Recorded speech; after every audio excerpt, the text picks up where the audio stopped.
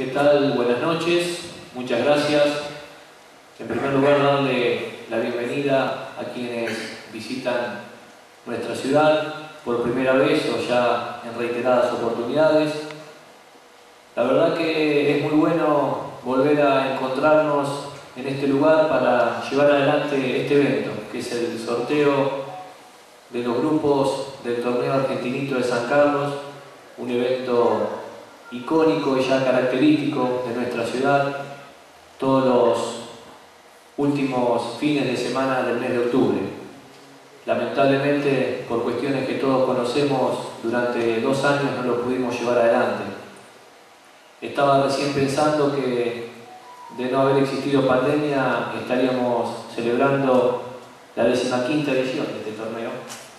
Así que la verdad que es de destacar que durante 13 años se pudieron llevar adelante este tipo de eventos en nuestra ciudad.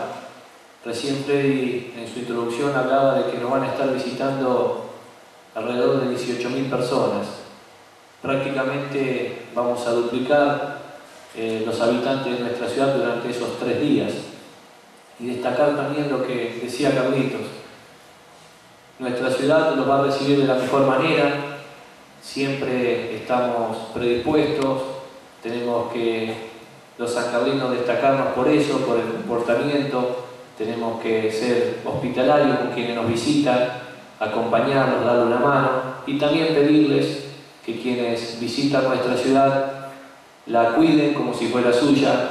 Nosotros desde el municipio trabajamos mucho para tenerla de esa manera, para mantenerla como hoy la tenemos y que sin duda eh, nos caracteriza y nos destaca eh, en la provincia de Santa Fe.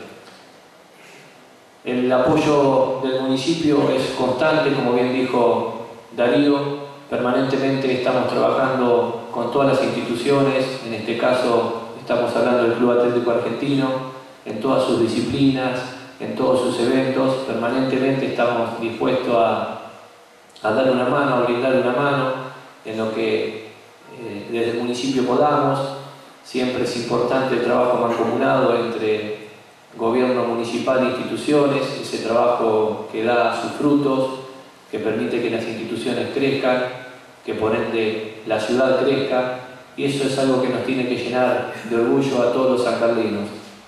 Ojalá que el clima acompañe, porque eso es lo que nos va a garantizar el éxito total de, de este evento cuando se realiza el evento al aire libre siempre tenemos que tener esa cotita de suerte.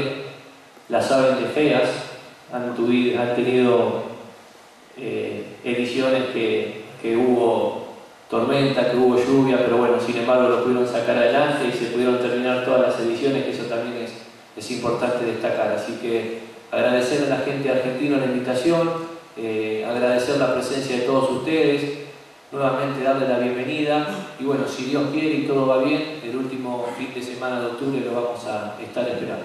Muchas gracias.